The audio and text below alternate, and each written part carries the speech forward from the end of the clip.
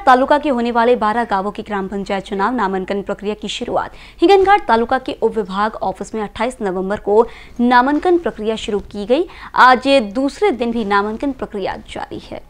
नामांकन प्रक्रिया के तीसरे दिन दोपहर तक दो सरपंच पद के लिए नामांकन किए गए। तो ग्राम पंचायत सदस्य पद के लिए आठ नामांकन दाखिल किए गए हैं। दो नवंबर को नामांकन दाखिल करने की अंतिम तिथि है।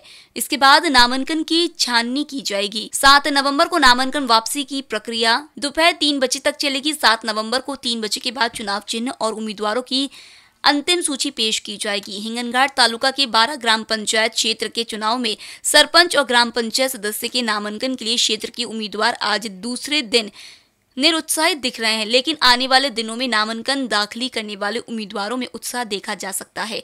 आने वाले जिला परिषद चुनाव के मध्य देखते हुए सभी 12 ग्राम पंचायत का चुनाव महत्वपूर्ण माना जा रहा है। हिंगनघाट से इन बीसीएन न्यूज़ के लिए रवि यनौरकर की रिपोर्ट।